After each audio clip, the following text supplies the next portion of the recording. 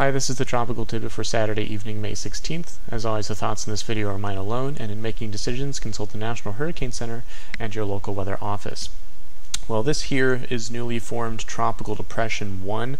The National Hurricane Center considered this organized enough and tropical enough to call this a tropical depression just a couple of hours before this recording.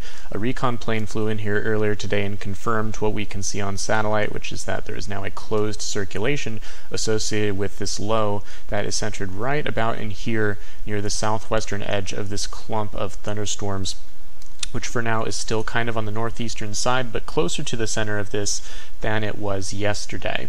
And uh, this is not strengthening quickly or anything like that. Pretty light winds right now about 30 miles per hour at a maximum. Been spreading some showers over the Florida Peninsula throughout the day from time to time.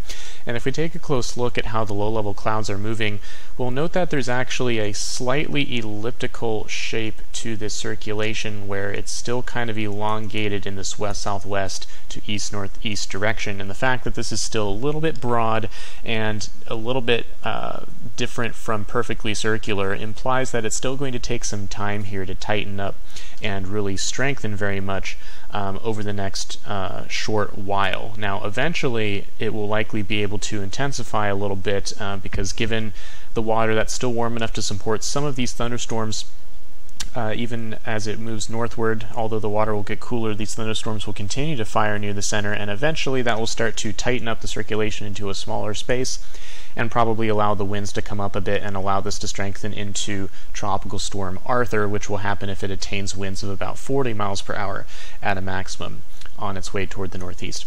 If we take a larger view of this here, uh, we see that this one one of the reasons this is now being called a tropical depression is because we have this kind of more isolated clump of thunderstorm activity that is now sustaining this low pressure area a little bit separated now from some of this mess off to the east which is still associated with an old warm front that is sitting here.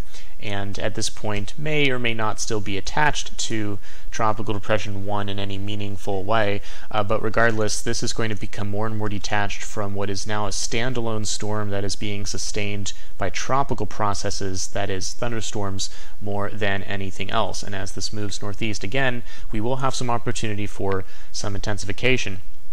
Now, if we look at the water vapor loop here, for the moment, uh, there's fairly low shear. It's not zero, but we have a pocket of fairly light flow aloft uh, over the system, which is allowing the center uh, to be closer to these thunderstorms today.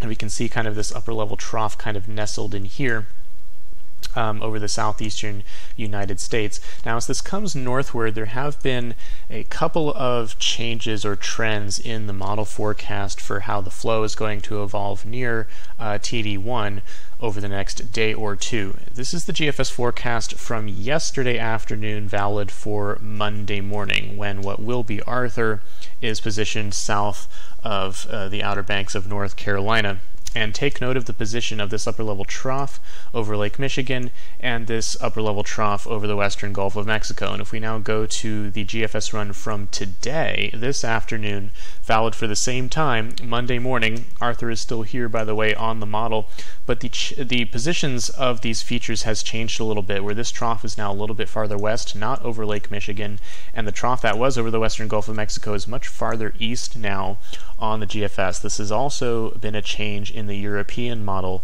from yesterday. The result of this, if we just flick back and forth here, you'll see that uh, yesterday's run had a, a, lighter, more southeast flow aloft over TD1 or future Arthur.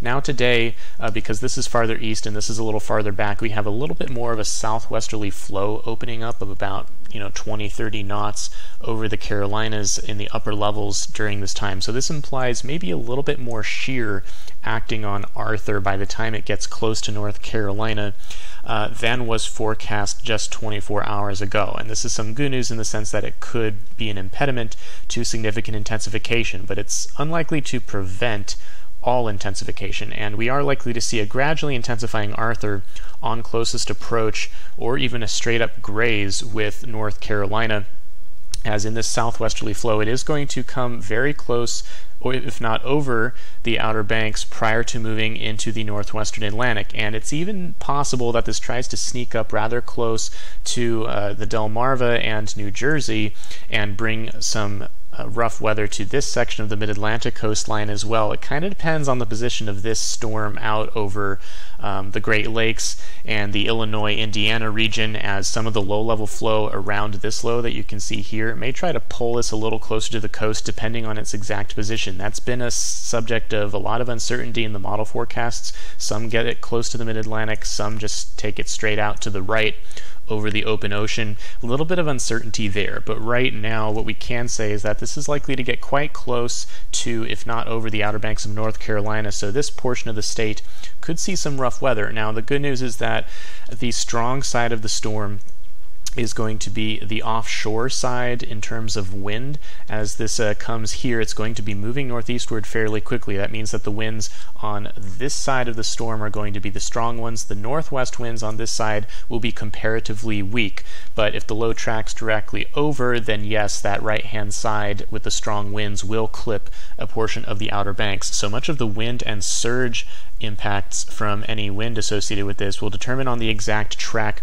and then of course we will have some heavy rainfall potential in here, but it's likely to be confined to the Outer Banks region of North Carolina given the current forecast, and it is possible that this tries to sneak just far enough offshore that the Outer Banks get nothing but a little bit of rain and very little wind or surge at all. So there is a range of outcomes here depending on just how far from the coast Arthur ends up tracking. This is the current forecast from the National Hurricane Center showing the expected track that is offshore right now and uh, would bring possibly tropical storm conditions to the Outer Banks, and hence a tropical storm watch there in yellow is in effect. And again, there is some wiggle room here for exactly where that track is. It could be just over uh, the landmass there, or it could be even farther offshore. So your range of outcomes is from sprinkles and no wind to heavy rains, um, strong winds, and storm surge potential in uh, the sounds uh, there in the Outer Banks of North Carolina. So again, a range of outcomes. Just stay tuned to the forecast for the next day or so. This is going to be occurring on Monday morning and afternoon, by the way,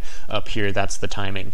Um, and then again, it could potentially sneak far enough north to clip uh, the mid-Atlantic with some rough weather as well as it begins to weaken in the colder water. But for now, the official forecast is for it to stay well offshore of the mid-Atlantic. We'll keep an eye on that as well as those uncertainties in the forecast are still present today, and things could change. And we are used to them changing in the tropics. That's the nature of the beast. So we'll keep an eye on things. That's it for now.